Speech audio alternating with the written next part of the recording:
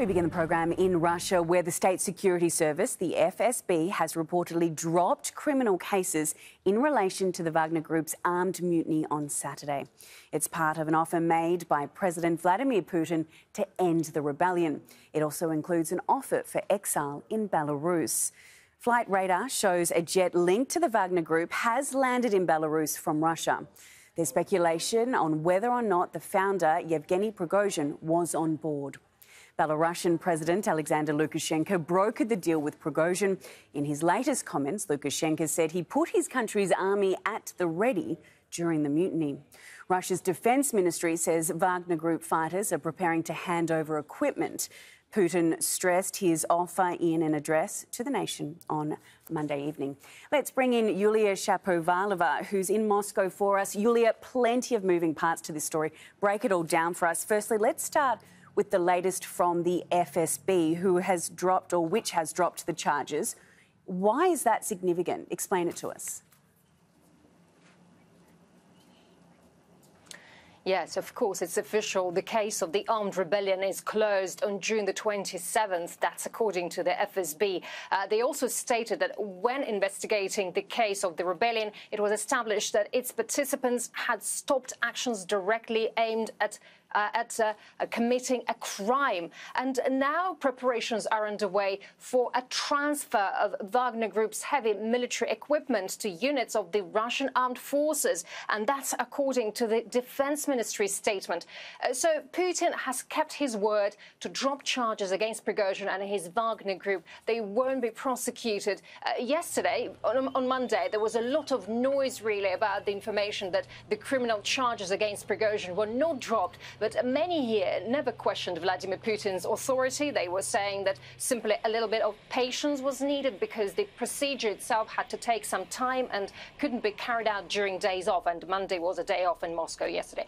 Uh, by the way, many opposition journalists, uh, some of them are in exile now, uh, they are outraged by the decision to drop all the charges against Prigozhin and let him and his uh, people go. They say while ordinary Russians receive huge fines and prison terms for just calling the special military operation in Ukraine a war for criticizing the army and the authorities. Uh, people like Prigozhin walked free after an armed rebellion, which could have led to uh, massive unrest in the country.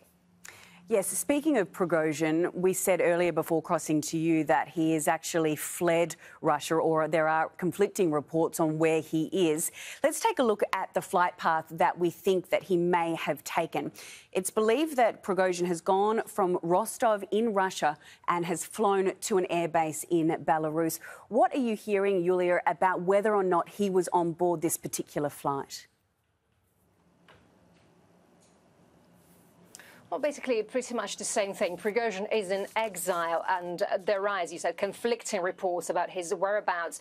Allegedly, his business jet was spotted on its way to Belarus, but uh, some Russian sources here also say that his jet is probably in St. Petersburg, where the Wagner headquarters are. Uh, Prigozhin uh, has been declared a, a, traitor here. His Wagner mercenary group uh, was nearly disbanded and disarmed. Uh, some would probably sign contracts with the Ministry of Defense, and others will probably go to Belarus. So experts allege that uh, Prigozhin will probably keep the most combat-ready units for himself, about 10 or 15,000 people to fulfill duties outside Russia, not here. But, uh, well, also, we can't uh, immediately verify uh, those reports. Um, well, also, according to newspaper Telegraph, uh, Russian intelligence services threatened to harm the families of Wagner leaders during the mutiny. That was reported by UK security sources.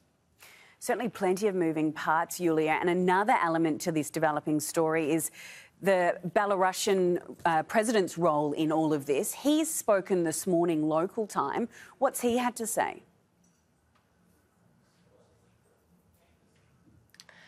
Um, so, Mr. Lukashenko said that uh, the threat of a new global conflict has never been so close, and he blamed NATO for igniting conflicts. And he also added that if Russia collapses, they will remain, well, they, I mean, Belarus and Alexander Lukashenko will remain under the rubble and all of them will die. That's according to Alexander Lukashenko. And uh, uh, he obviously said that he gave all orders to bring the army to full combat readiness during the mutiny in Russia. So uh, there is an opinion that uh, Lukashenko has strengthened his power due to the Wagner rebellion here. Uh, now he has nuclear weapons and uh, the Wagner group there. Both were given to him by Vladimir Vladimir Putin. And uh, while people in Belarus are outraged as they fear for their safety and their life because of the Wagner presence in their country and for strengthening of the Lukashenko regime. So, in a nutshell, people admit uh, Putin's and Prigozhin's reputation has been uh, dealt a blow, while Shoigu and Lukashenko can celebrate a little victory.